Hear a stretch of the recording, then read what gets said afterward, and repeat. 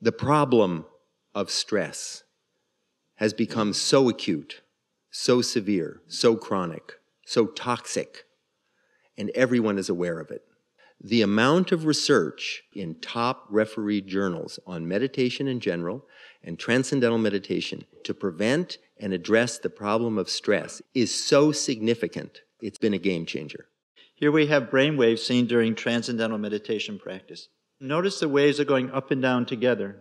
You see the rising and falling are very similar. This is something called coherence.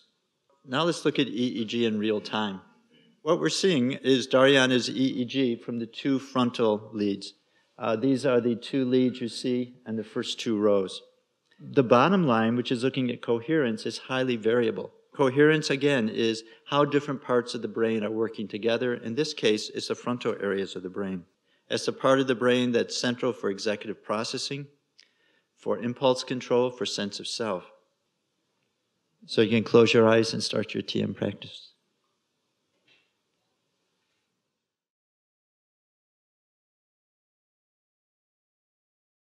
The brain begins to integrate the restful alertness of pure consciousness into daily life.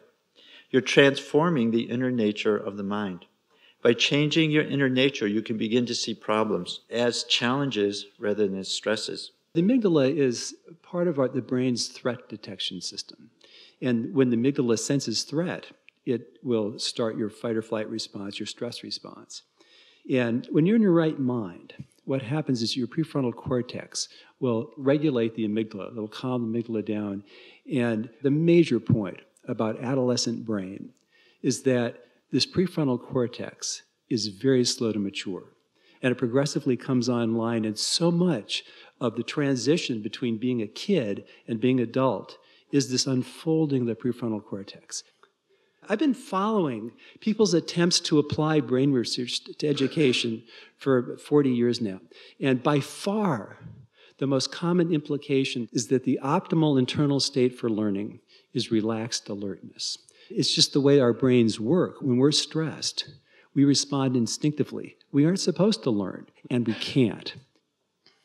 What we know in, in relation to learning, if young people meditate, it works. When you're less stressed, you can focus better, you can resist distraction better, and when you have this increased coherence in brain functioning, you can organize your thinking better. Your sense of priorities is better. You can integrate information better. One of the really important things from my point of view is there's also a significant reduction in emotional reactivity. And when I talk with kids, one of the things I really emphasize with them is the need to build their stress tolerance, their ability to, to manage themselves in stressful situations so they don't quit or they don't freak out. The research on it is showing where kids are meditating twice a day in school, improvement in all kinds of important areas. And it seems to me that given what we know about what TM can do to, improve the lives of young people, I think it's cruel not to teach it to them, at least give them a chance to do it.